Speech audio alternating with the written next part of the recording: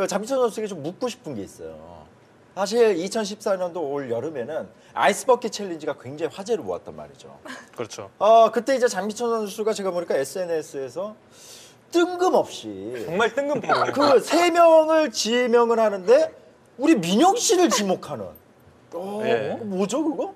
뭐? 아, 그 제가 그때 이제 한창 하스스톤 아울 그 전인데 그 전에 이제 재밌게 봤어요. 그래서 이제 맨날 칙칙하게 남자들끼리 하다가 네. 이제 여- 여성 게스트분이 있으니까 재밌더라고 그리고 또 이쁘시고 그러니까 팬이 됐어요 그때. 근데 이제 그냥 제가 친구 추가를 페이스북을 했었는데 네. 안 되더라고요. 그 신청 자체가 안 되더라고요. 너무 유명하니까. 어. 저 혹시 네.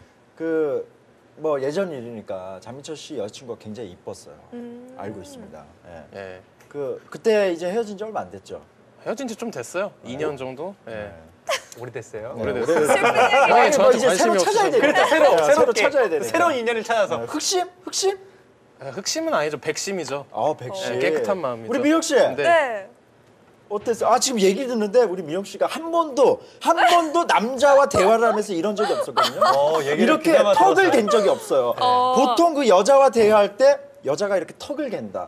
이거는 의미가 있는 거거든요. 그쵸. 네. 아니 제가 스타2를 해봤잖아요 저번에. 근데 너무 어려운 거예요. 그래서 음.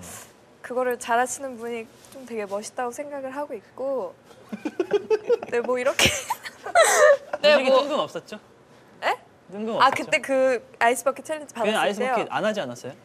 아 그때 제가 그래서 너무 당황해가지고 저저 말씀하시는 거냐고 댓글은 달았어요. 근데 이제 네, 이게 뭐 여러 가지 때문에 하지는 않아.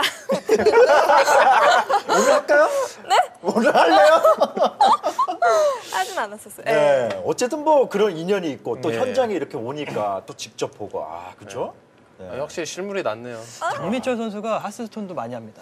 어. 제가 봤을 때는 네. 민혁 씨 때문에 아, 시작을 한 우리가 거 친해지려고. 아이, 그건 언젠가 한번. 나가서 내가 왜냐면 만나야겠다. 요즘에 뜬금포로 저한테 맨날 배틀로 해서 형 함께 맞자고. 어 갑자기. 근데 하스스톤. 오. 저랑은 몇번 했었어요. 아. 생각보다 잘해요. 저도 몇 판 지고 했었어요. 자, 뭐 어쨌든 하지만 이겼지만. 네, 어그 인연이 됐고 네. 이렇게 또 함께 할 수 있는 좀 행쇼가 있다 보니까 이 사실 1인 MC지만 네. 손병구 선수 없을 때 뭐 한 건 해가지고 그냥 그 자리에 앉는 거예요 계속. 아, 사실 제가 네. 여기 와서 느낀 게 제가 병구 형 태어나서 한 번도 안 부러웠었거든요. 어. 오늘 처음으로 부럽네요. 아, 네. 일주일, 일주일에 한 번씩 왜요? 김민영 씨 볼 수 있습니다. 정면 정면에서 민영 씨 보니까 네. 네. 그 자리가 딱 이제 명당이에요 거기가. 네, 여기 명당이네요. 원래 2년 되면 뭐 이럴 때죠.